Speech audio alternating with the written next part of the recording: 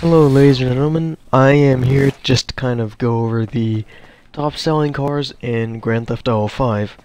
So, one of the easiest ways I've found to make money in GTA Online, and I'm pretty sure a lot of other people have found this way, I mean, obviously, uh, one of the easiest ways to make money is just to sell cars that you don't need. I'm just here to kind of go over some of the most common and some of the best selling cars just because, you know, it's easier that way. So, starting off, I'm just kind of showing you where one of the most expensive car, where the most expensive car is. It's the Vapid Peyote, but it is the gang version. It's found in the Strawberry slash Davis slash Grove Street area.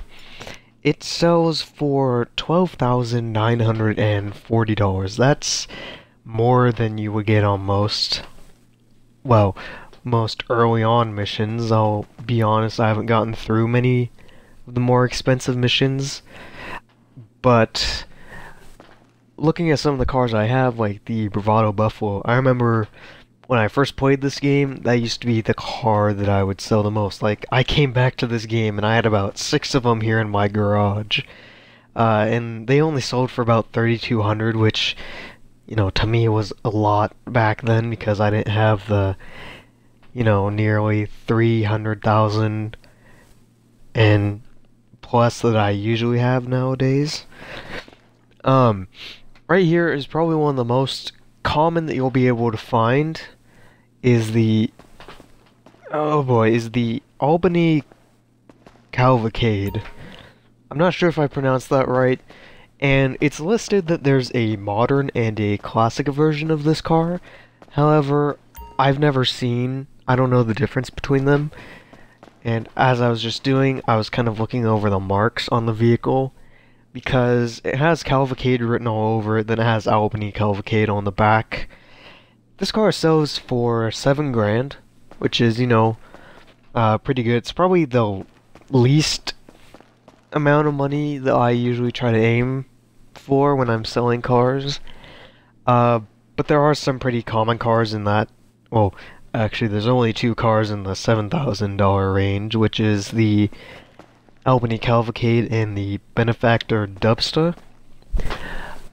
Right here, I'm taking my Ubermacht Oracle, I believe this is. Uh, this is one of my more favorite cars to get, um, mostly because whenever I pick it up, I know the Oracle logo, uh, but I still haven't quite gotten myself memorized on what exactly the Oracle looks like. A minute. Did I say that right?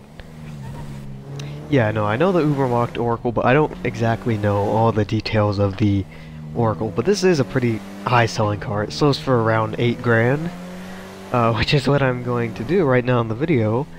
Mostly because I just need some more money. I mean, really all I ever buy is ammo, but you know, still, it's always good just to have some extra on hand. Here for the magic touch. So you can only sell one car for every, I think it's 45 to 48 minutes. And that's why I stopped selling cars and picking up cars like the Bravado Buffalo and the Bravado Gauntlet. It's just that they don't get you enough for that amount of time. So I'm just gonna go head to my garage now where I have some more cars. Alright, yeah, I know, pointless transition, but I was almost at the 5 minute mark for upload, so I said, eh, why not? Uh, quick note here, this is a Mammoth Patriot. It's one of the most easily recognizable cars just because it's a Hummer. This car will get you about 5 grand, which, you know, isn't too bad. But Simeon commonly wants uh, a Patriot. I don't know why, but it always seems to appear in the list when he tells me, oh, I want this car, or I want one of these cars, and you just gotta get it resprayed for about $780, and he'll give you around 10 grand, so it's much better than selling it at Los Santos Customs. Um, right now, I think I'm gonna go over the 12 highest grossing cars which would be from the 8 grand to the 12,140. So, uh, from number 12 number 1, it's the Ubermacht Oracle, the Benefactor Schwarzer, the Ocelot, the Ocelot F620, the Canis Mesa, the Merryweather Jeep, the Obey Rocoto, uh, the two Galvanter Ballers, which there's a modern classic version, but again, I don't know the difference.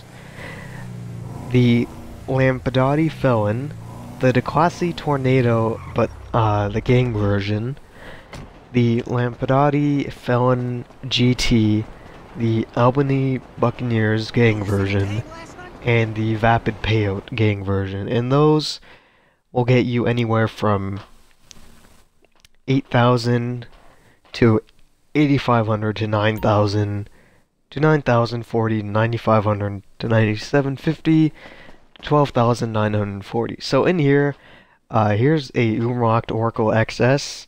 Uh, I'm probably going to sell this car soon because they only get you around 6 grand, which isn't horrible, but I think 7 grand is kind of the minimum you should aim for. I have another Oracle, then here's the Galvanter Baller, which to me, it's the most common car that you're going to find that you can sell for a really high amount. Because the top four are out of, well, out of the top six, I guess, three are gang cars, uh, two are Lampadatis, which I haven't really found, and then the last two are the modern and classic version of the bar. So you can kind of tell Baller really easily just because they have the big giant Galvanter logo on them. Uh, but a few other things are they have, you know, Galvanter on the back, they have the kind of four backlights, then they have the kind of, you know, easily kind of recognizable front lights, two exhaust ports on the side, and, you know, as long as you see those things, then, yeah, you've just gotta, excuse me, uh, you have a Galvanter baller, and that's an easy nine grand right there. I have three of them in this garage, so, you know, it's $27,000 right there. So, I mean, really, if you just get enough of these, and you just don't want to do missions at the time, just go take one of these, go sell it, get some quick, easy money. Because really, in this game, uh, jacking cars, or you know, whatever you want to call it, that sounds sounds weird say. Uh, you're gonna get plenty of money, really, and it's just such a easy thing to do. Anyways, though, um, Thanks for watching, and I will see you in the next video.